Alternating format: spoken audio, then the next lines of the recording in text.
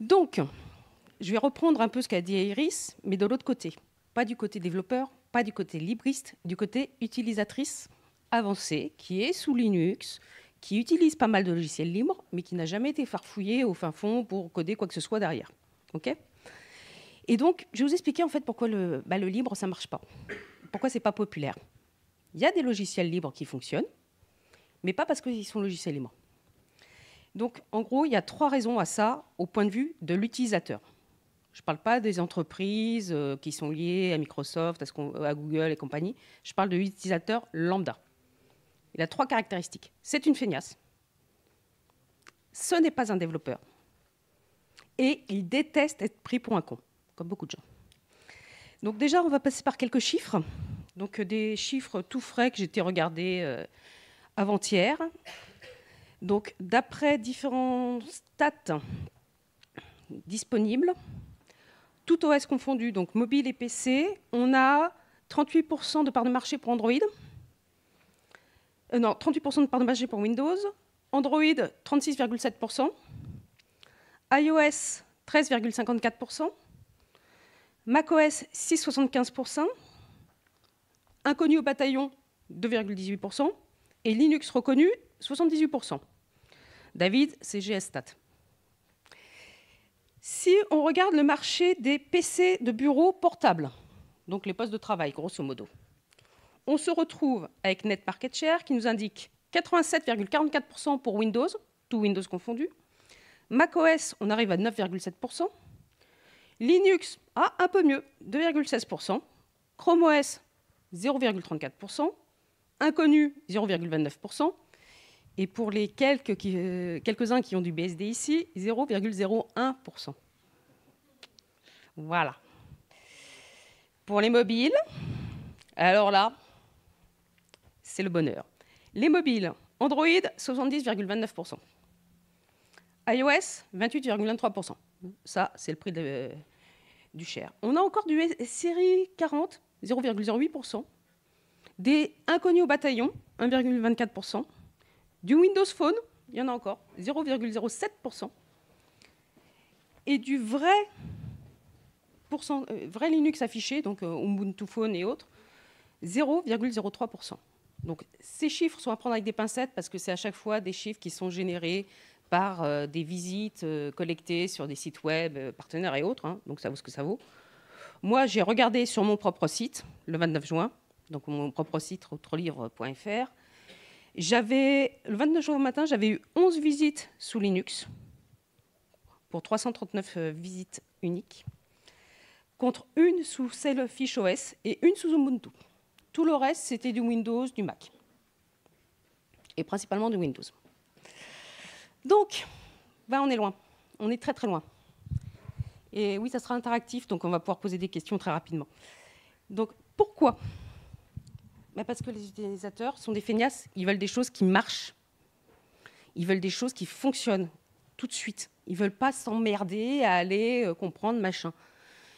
Ils veulent des choses qui fonctionnent avec les gens avec qui ils travaillent. Vous êtes indépendant, vous devez rendre des fichiers euh, sous euh, vous êtes un créatif indépendant, vous faites de, la mise en page et autres, bah, vous allez prendre Adobe. Parce que même s'il y a des solutions libres qui existent, bah, en face, le, patron ou l'employeur, il a de l'Adobe. Donc, euh, l'interopérabilité n'existe pas. Bah, vous faites dans le libre, bah, tant pis, hein, euh, vous perdez les contrats. Euh, entre le libre et gagner sa vie, le choix est vite fait. Pareil, vous voulez travailler avec LibreOffice, vous travaillez avec LibreOffice, mais qu'est-ce que vous faites? Vous envoyez des points doc ou des points machin, parce que c'est ce qu'il y a en face qu'ils sont capables de lire. Voilà vous êtes euh, une feignasse, vous allez prendre un ordinateur. Ah bah, L'ordinateur, bah, il a Windows ou il a macOS dessus. Bah, je ne vais pas me casser le cul à aller installer autre chose, sauf si quelqu'un dans ma famille va dire Ok, ton vieux machin, je vais te le passer sous Linux. Il y a quelques boîtes qui font de la vente d'ordinateurs matériels avec Linux. Vous avez vu les tromblons que c'est? Ça donne pas envie. Il y a aussi un truc tout bête. Vous avez essayé de jouer à un jeu vidéo sous Linux? Hein? Oui, oui, je vois, j'en connais qui ont des difficultés. Moi-même, j'en ai des, bonnes difficultés. Puis maintenant, je vous signale que Steam a abandonné. Quasiment. Quasiment. Ah, sur macOS, ça fonctionne Steam. hein. Mais c'est une galère sans fin pour essayer de comprendre comment ça marche. On ne sait jamais le jour même si on va lancer le truc, ça va marcher, ça va pas marcher. Ils ont changé quelque chose ou pas? C'est un bonheur. Donc pourtant, il y a des bons jeux sous Linux. hein, euh. Ils sont graphiquement pourris, mais il y a des bons jeux. Pour ceux qui aiment les stratégies au tour par tour, il y a des trucs sympas. euh. Mais bon, on est limité. Donc si vous voulez jouer à des jeux récents et autres, qu'est-ce que vous faites? Bah, Vous avez une machine qui tourne à la fois sous Linux et sous Windows. À minima. Donc il y a plein de raisons comme ça. Ça, c'est la partie l'utilisateur est une feignasse. L'utilisateur, bah, c'est pas un codeur. Donc euh, quand Eris dit ouais, mais euh, l'avantage du libre, c'est que quand on n'arrive pas à faire une fonction, bah, on peut toujours la développer soi-même. Bah non, bah non. La personne lambda, elle va pas s'amuser à développer soi-même. La personne lambda, tu lui dis euh, ouais, faut faire tes mises à jour en ligne de commande. Euh, bah non, la ligne de commande en 2019 pour la personne lambda, c'est qu'est-ce que c'est que ce truc? Tu te fous de ma gueule ou quoi? Donc évidemment, quand on regarde certaines distributions Linux, il y a des mises à jour qui se font euh, de façon graphique, le gestionnaire de mise à jour Ubuntu compagnie. On s'aperçoit qu'en pratique, quand on passe par la ligne de commande, il y a plus de mises à jour que ce qu'il indiquait. Ça, c'est autre chose. Mais c'est pas, c'est pas évident. C'est pas évident, c'est pas natif. Et les gens maintenant ont pris l'habitude d'avoir euh, du truc natif. Alors je parle même pas du monde mobile ou alors avec euh, Apple, euh, iOS, iPadOS ou autre. C'est tellement simple que vous faites un gamin de deux ans, il, sait comprendre, il comprend comment ça fonctionne. Il va savoir l'utiliser. Savoir l'utiliser. Il va pas savoir comment ça fonctionne, pas savoir ce que ça implique. C'est pour ça qu'aussi que les Chromebooks commencent à bien fonctionner. Le Chromebook, vous l'installez, vous avez votre code et vous avez tout. Vous téléchargez une application, vous allez sur le web, vous avez tout, vous n'avez pas besoin de réfléchir. Après, vos données, bah, tout est chez Google, etc. Mais l'utilisateur lambda, il s'en fout. Ça marche. C'est ça compre- qu'il faut comprendre. C'est que lui, il s'en fout, ça marche. Ça, c'est la base. Après, on a un utilisateur avancé qui va réfléchir un peu à, protéger sa vie privée, protéger un peu ses données et ne pas être dans le monde des GAFA. Donc, il va installer un peu de, logiciels libres. Il va essayer. Il va passer par Firefox et pas par, euh, par Chrome. Il va installer LibreOffice et pas euh, Microsoft Office ou Google Apps. Il va installer deux, trois bricoles. Puis il va avoir un problème. Donc il va aller poser la question. Et il va avoir droit à un florilège de conneries. Genre, typiquement, oui, comment je fais pour dans LibreOffice pour faire euh, une, table de matière facile? T'as qu'à utiliser la texte. Pardon? Véridique, on me l'a fait. hein. Je vais installer un truc différent. Et tu installes euh, la texte et puis tu installes telle bibliothèque en plus. Attends, j'ai un logiciel, je sais m'en servir, il fonctionne. Il faut que j'aille installer un autre logiciel qui n'est pas du tout la même chose, parce qu'un traitement de texte, un éditeur de texte, c'est pas la même chose, pas du tout le même principe. Et en plus des bibliothèques. Ok. Comment je fais pour faire euh, J'ai un problème sur euh, mon ordinateur sous Windows, j'ai ça. Bah t'avais qu'à passer sous Linux. Ouais, super. Ça va faire avancer le schmilblick cette histoire. Et on en a partout. Je suis sous, euh, je suis sous Linux, j'ai tel problème avec ça, je n'arrive pas à retrouver mon interface graphique. T'as quoi? Bah, Ubuntu 18.4. Ah, ben c'est de la merde, Ubuntu, fallait passer sous Debian ou sous Arc. Pareil, tout ça, on me l'a sorti. Super, ça va faire vastement avancer le schmilblick. Et ça, vous allez sur Internet. Il y en a un ici qui est en train de bouquiner, qui est spécialiste du genre. Ils vont vous faire systématiquement des réflexions comme ça. Qu'est-ce que vous faites? Bah, Vous faites fuir les gens qui s'intéressent et qui commencent à venir. C'est bien d'être entre soi, de dire ouais, ça c'est vachement bien, ça c'est vachement la bonne solution. Mais les gens ils débutent aussi. Donc avant de passer à latex, avant de passer à Arc Linux, à Debian ou autre, faut bien qu'ils débutent par quelque chose de simple. Puis ils n'ont pas besoin de trucs compliqués. Le combat du libre, ça commence peut-être déjà tout bêtement par que- quelqu'un qui utilise sur son Windows ou son macOS un Firefox et pas un Chrome ou un Edge ou un Safari. Si vous allez le, pourrir, le pourrir la gueule parce qu'il a un Windows ou un macOS, qu'est-ce qu'il va faire? Il va laisser tomber. Le combat du libre, ça commence comme ça. petitement. Et après, vous allez pouvoir le faire comprendre quelque chose. Là, moi, j'ai eu un problème très récemment parce qu'il y a eu un problème avec euh, mon outil pour Mastodon que j'utilisais. Ouais, mais t'as qu'à utiliser F-Droid. Mhm. Ben non, j'ai pas envie d'installer F-Droid sur ma machine. Je peux pas, puis j'ai pas envie pour plein de raisons. Ah ouais, mais dans ce cas-là, tu peux. Ben non, dans ce cas-là, non. ce que je vais faire, c'est que je vais prendre une autre solution. Et c'est ce que j'ai fait. Voilà. Et donc, on me dit 10 minutes. Donc, moi, c'est mon point de vue. Et moi, je voudrais entendre le vôtre. Alors, il y a deux personnes là qui parlent.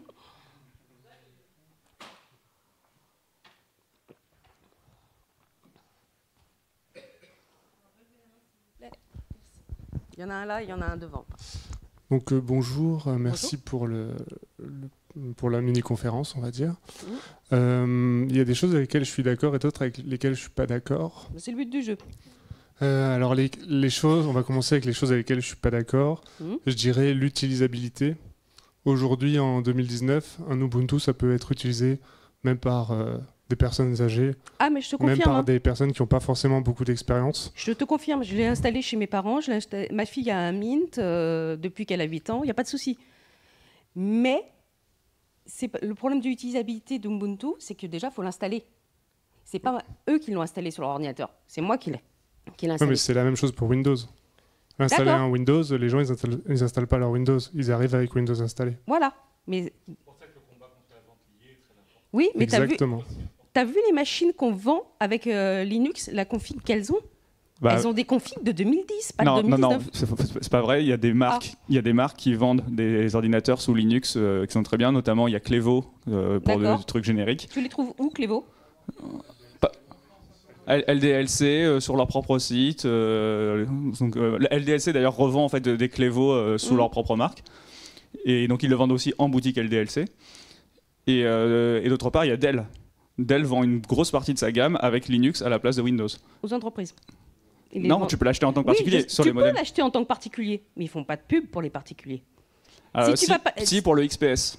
Si tu, si tu vas pas dire, alors les pubs pour les particuliers XPS que j'ai vu, c'est toujours des XPS Windows, hein, pas des XPS Linux. Ouais, ils les vendent comme des machines développeurs, comme dit David. Oui, du Quand tu, pour le particulier lambda, tout ce que tu as cité, ça existe, c'est vrai. Mais lui, il n'est pas au courant. Oui, on est, on est tous d'accord, je pense ici, que Windows reste l'OS principal que les gens achètent sur leur ordinateur. Quand ils achètent un, ordinateur, ils ont un Windows. Euh, comme ils ont un Android, plus de chances, un, plus de chances d'avoir un Windows qu'un Linux, sauf s'ils le demandent. Ensuite, la partie, euh, quand on rentre sur euh, Linux, on a des problèmes, on va sur les forums, là, la communauté est pas top. Là, je suis d'accord. Euh, personnellement, moi, je ne vais pas sur les forums francophones si j'ai des problèmes. Parce que, ben, un, soit la qualité, elle n'est pas suffisamment bonne, soit euh, bah, ça répond pas à mon problème. Du coup, quand je vais sur les forums anglophones, là, je trouve des solutions. Et il y a aussi tout ce qui est wiki. Après, c'est sûr, pour quelqu'un qui vient d'arriver sur Linux, euh, penser à aller chercher sur un wiki, être capable de se débrouiller tout seul, c'est peut-être pas forcément facile. Penser et pouvoir parler anglais? Oui, la barrière de la langue aussi, c'est notre, notre barrière. Moi, je suis capable de parler anglais, mais tout le monde n'est pas capable de parler anglais. Il y en a un au fond là y a quelque chose à dire. Oui, il y en a un devant et un au fond. Merci. Euh, juste euh, un petit truc, c'est vrai que les solutions, je pense, elles existent, hein, mais il euh, faut voir qu'un utilisateur lambda, il va à la Fnac et un samedi, puis entre 14 et 14h15, il, ressort avec un PC. Hein. Oui, voilà. Donc, oui, on est d'accord. Et c'est pour ça, ça revient à mon point. du coup, bah, merci de ton, de, ton, de ton partage, on va dire. Et en même temps, je suis pas vraiment d'accord sur les points que tu as cités sur l'utilisateur lambda, et notamment sur le côté feignasse. Ah. Euh, et, ça, et ça revient un peu avec le sujet que tu as abordé tout à l'heure. Enfin, je te pointe du doigt parce que je connais pas ton prénom, mais c'était super intéressant parce que euh, je trouve qu'on met beaucoup la responsabilité sur les gens, à la fois sur nous-mêmes, avec cette, ce côté très euh, comment dire autoflagellation on n'a pas été assez bon tu sais on n'a pas été assez ouvert qui fonctionne bien et que tout le monde utilise? Voilà, VLC, 3 milliards de téléchargements. Mm. Pourquoi? Parce qu'il fait le job. Que c'est facile à télécharger, il fait le job. L'utilisateur qui veut l'utiliser, il lance sa vidéo, ça marche. Il lance son stream, en théorie, ça marche. Bon, pour passage en scène, c'est moins le cas. Désolé, les copains. Mais ça marche. Donc, mais il y en a plein des outils qui fonctionnent. Je, je là, je pense que c'est une exception qui confirme la règle. Je pense qu'il a su faire, euh, au début des années 2000, une une com assez, puissante, mais je, ne suis même pas sûr que ce soit de son fait. En fait, je pense qu'il y avait certainement il y avait un, truc à faire. il y tout de suite, ça marchait et que l'interface était claire. As beaucoup, on a parlé de Darktable par rapport à Lightroom. Bon, déjà, Lightroom, c'est une interface où tu es là. Euh, ouais, alors attends, qu'est-ce que je fais? Darktable, c'est encore pire. Hmm. Bon, je ne reviens pas sur le débat GIMP, Photoshop, parce que le problème de GIMP, c'est pas Photoshop. Effectivement, les deux sont aussi compliqués l'un que l'autre. Mais il y a tellement de solutions hyper simples pour retoucher ces photos. Ah bah oui, mais c'est dans le cloud. Donc il faut laisser la photo sur hmm. le, serveur. Et autres, que là, l'utilisateur feignasse, il va pas s'emmerder avec GIMP, avec Photoshop, il va aller sur le service dans le cloud, ou alors, pire, et là je pense à ma mère, faire les albums photos sur l'application d'Aldi ou autre. Je, ne suis pas d'accord sur le feignasse parce que vraiment, je pense qu'il n'y a pas une notion de feignasse, il y a une question de temps qui mmh. est, on a tous un temps limité sur cette terre, il est précieux, et c'est pas être feignasse que de choisir quelque chose. En fait, je trouve qu'on met beaucoup l'outil libre comme une fin en soi, alors que c'est avant tout un moyen pour faire une action. Quand Donc, je dis quand, quand on doit réagir, c'est pas un défaut. Hein.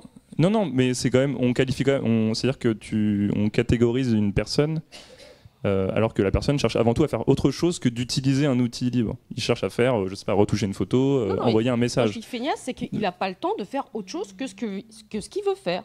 Donc retoucher une photo, envoyer un message, écouter sa musique ou autre, il n'a pas le temps d'aller chercher comment faire midi à 14h pour faire fonctionner il veut un truc, il clique, ça marche. C'est ça que je veux dire, feignasse. C'est pas une question de. Ouais, d'accord. il n'a pas envie de faire. D'accord. parce que je, pense que justement, notre lutte de plutôt se diriger vers quelque chose de plus grand que les personnes. C'est ça que je voulais insinuer euh, derrière ça. Il y a un gros problème de simplification et d'utilisation des produits. Il faut penser ça. Alors, je ne sais pas si c'est la faute des, utilisateurs, si c'est la faute des développeurs, mais il y a un gros problème de simplification et de communication. C'est ça le, message, c'est qu'il y a un gros problème de communication. Déjà parce que, par exemple, les, machines avec Linux, elles sont en vente, d'accord, mais l'utilisateur lambda qui va avoir besoin d'un ordinateur, d'une tablette et compagnie, il n'est pas au courant. Et elles ne se vendent pas parce que l'utilisateur n'est pas au courant. Il y a des, sites web spécialisés qui en parlent, mais ça ne marche pas. Et j'ai fait un test tout con j'ai mis des, ordinateurs sous Linux entre les mains de personnes âgées. Eh bien, il y en a certains pour qui ça marche très bien. Ah, bah ouais, ça fait ça le job, ça fait le truc. Et puis l'autre, c'est. Oh, bah, de toute façon, euh, j'utilise plus l'ordinateur, je passe sur mon téléphone. Ok. Pourri ton téléphone de machin, ok. Mais je vais lui proposer un téléphone sans, euh, Android ou autre. Ah oui, mais je peux pas avoir mon application Medilib, je peux pas avoir mon application euh, parisien, je peux pas avoir ceci, cela. Alors les téléphones libres, ça c'est encore une autre histoire parce qu'il y en a encore moins. Et il y avait et au fond et puis là.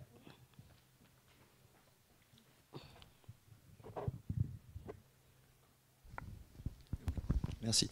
Euh, ouais, je pense qu'il y a un, truc aussi sur lequel il faut batailler, c'est euh, comment dire euh, lutter contre le mythe qui est propagé notamment par l'industrie informatique grand public, duquel l'outil serait intuitif et comment dire par défaut et comment dire prêt à consommer en fait. Et en fait, ça c'est juste une arnaque de comment dire ce, ce discours-là qui est enfin qui est le discours mainstream en fait balancé par tous les vendeurs d'ordinateurs, etc. Euh, et, qu'en fait, non, à la base, c'est un truc qui a été conçu euh, dans un contexte scientifique et militaire, je ne sais plus dans quel ordre, et qui a été après diffusé, euh, comment dire, pour, pour différents cercles. C'est une bataille qui est perdue. Comment? C'est une bataille qui est perdue. Maintenant, on a des utilisateurs en face de nous. Oui, mais le truc, c'est qu'en fait, je vais juste finir de mon propos, excusez-moi. Euh, en fait, le truc, c'est que euh, dans ce truc-là, c'est aussi une éducation par rapport au, comment dire, à, cet outil et ce qu'on appelle donc euh, l'outil numérique qui est diffusé. Il y avait un atelier sur l'inclusion numérique, etc. Il se trouve que c'est un levier qui était dans un aspect politique aussi pour dire bon, maintenant, on va faire, faire tous les services en ligne là-dessus. Maintenant, c'est un outil qui est impossible à échapper, etc. Et euh, donc déjà là-dessus, on pourrait aussi euh, se poser la question est-ce que c'est vraiment euh, la voie obligatoire et est-ce que est-ce qu'on peut pas trouver des alternatives non numériques peut-être des fois? Et, et qu'en fait ouais le rôle de médiation bon il se trouve que c'est un peu le taf que, que je commence à faire. Donc mmh. voilà je défends ma chapelle mais c'est aussi un truc qui est important et que je vois dans les GUL en fait il y a des GUL qui arrivent à populariser du Linux hein, en l'occurrence euh, de manière à ce que les gens en fait soient accompagnés en fait pas à pas dans leur découverte de l'ordinateur. C'est des gens qui, qui, partent de zéro mmh. avec des vieilles machines reconditionnées et ça se retrouvera dans différentes villes. Euh, avec du Linux dessus, avec une distribution qui sera adaptée aux besoins des gens en fonction de leurs préférences ergonomiques, etc. Et avec des outils qui seront adaptés et avec des conseils, un accompagnement humain qui se fera euh, par exemple chaque semaine ou tous les deux semaines en fonction euh, de la disponibilité des, bénévoles. Donc je pense qu'il y a aussi il y a des choses qui, sans parler technique, etc., qui existent déjà en fait et qui sont à mettre en avant et, à développer. Ah non, mais il y a des choses qui existent déjà, qui se font et qui sont très bien. Et euh, je le fais à ma petite échelle euh, avec les gens chez qui j'installe du Linux. Et il y a toi, il y a Emma, Ubuntu qui fait un super boulot là-dessus. Mais c'est pouillem. Et le problème, c'est qu'il faut, il faut continuer ces, ces choses-là. Il n'y a pas de souci. Mais ça suffit pas. Il faut mettre un point de communication au-delà. faut forcer. il y a un truc qui est tout con. je suis journaliste informatique. Mais vous savez comment je bataille à chaque fois pour mettre des services Framasoft dans mes sélections de logiciels? C'est l'enfer. C'est l'enfer. Pourtant, les services Framasoft, c'est super simple, ça fonctionne et ça se comprend très bien. Mais, ah, mais oui, mais Microsoft, ils font ça, mais machin. Ben non. Et c'est l'enfer à chaque fois, ne serait-ce que pour vendre ça à des gens qui sont censés parler d'informatique. Alors je vous laisse imaginer pour parler à des gens qui sont utilisateurs de base, dont l'informatique n'est pas le métier ni la passion. Oui donc juste, euh, on a quelques minutes seulement. Donc il y avait une question ici euh, que je vais prendre et après je crois que malheureusement on n'aura pas le temps de poursuivre. Merci. Moi, je voulais proposer un petit retour d'expérience parce que j'ai fait un peu des ateliers d'initiation à l'informatique, notamment avec des retraités. Et je suis pas forcément d'accord quand tu disais que les, utilisateurs, leur, euh, leur, vie privée, etc., ils s'en fichent. Parce que je me suis aperçu que c'était pas forcément le cas. Et ah, Pas forcément tous, oui. Et que voilà, moi je me suis retrouvé par exemple avec une dame qui était toute débutante, qui voulait une adresse mail, et je lui ai dit je peux te, je peux te faire une adresse Gmail, c'est très user friendly entre guillemets, etc. Ou je peux te faire un proton mail parce que tu auras moins de données qui seront récupérées. Et elle a préféré ça parce que ça marche aussi, etc. Donc au final, moi ce que je vois, c'est que si euh, il y a un travail de communication bien sûr, mais il y a aussi si on peut un travail de pédagogie à faire, parce que si on explique aux gens voilà telle chose, ça implique telle chose, et, et je me suis rendu compte que les gens sont très intéressés pour savoir quels sont les les données qui sont récupérées sur eux, etc. Et au final, si on peut travailler par cet angle-là, bah, ça fait une grosse passerelle en direction du logiciel libre au final. Ah mais je suis d'accord. C'est le but de cette conférence, c'est de dire on a un problème. C'est pas dire voilà c'est foutu. Je dis on a un problème. Comment trouver la solution? Donc ça peut être par de la pédagogie, ça peut être par de la communication. Mais moi, si tu reprends l'exemple des retraités, euh, j'ai testé euh, Linux avec deux retraités, à savoir mes parents. Ma mère a tout de suite compris. Mon père, euh, le Gmail et autres, euh, lui, il va au plus simple. Hein. Il en a rien à foutre. Il va là où c'est simple. L'informatique, ça l'emmerde. Il va simple. Si c'est du, tu lui aurais donné le choix, lui t'aurait dit, bon bah si c'est simple, je prends Gmail. Hein. Et de toute façon, il me dit très bien. De toute façon, moi, j'ai rien à cacher. Ça laisse des débats épiques. Non, mais ça laisse des débats épiques euh, lors des repas familiaux. Mais bon, c'est une autre histoire et je ne sais pas où on en est. Ouais, il reste euh, deux minutes, donc vraiment si on a une, enfin, y en fait il y a beaucoup de questions dans la salle, donc. Euh... Bah, je sais pas, bizarrement la personne suivante c'est moi et c'est René Marc, mais ce sera sur complètement autre chose. Donc, euh, enfin, je sais pas qui lève la main depuis longtemps ou euh, qui crie le plus fort. Je crois qu'Eltoun avait une question. Non, non, bon, alors je sais pas, il y avait monsieur avec le. D'accord, bon, ça va être la dernière et ensuite on passera à la conférence suivante. Merci. Euh, tu dis que le logiciel libre n'est pas euh, populaire. Euh, moi, j'entends parler d'un moteur de recherche là, français qui s'appuie sur du libre, qui fait du libre. Je troll un peu, mais je voulais avoir ton avis là-dessus. Tu, veux parler de Quant? Oui. C'est quand, quand Quant qui font des résultats corrects? C'est de la merde. Les résultats de Quant, c'est de la merde. T'inquiète pas, je l'ai dit à André en direct. Hein. Donc, c'est pas un souci ils ne deviennent pas spécialement populaires. On, les intègre, de force dans les tablettes qu'on donne aux gamins et compagnie. Je peux te dire une chose, c'est que si je prends un exemple d'une classe de 4 de 22 gamins, ils ont compte d'installer de force sur la tablette. Allez, ils sont 18, à être passé sur Google et le reste qui est passé sur DuckDuckGo. Aucun n'utilise Quant. Pourquoi? Parce que les résultats ne sont pas bons. Donc moi je veux bien. C'est une très bonne idée. Mais euh, ça, dépend, des recherches, les résultats ne sont pas bons.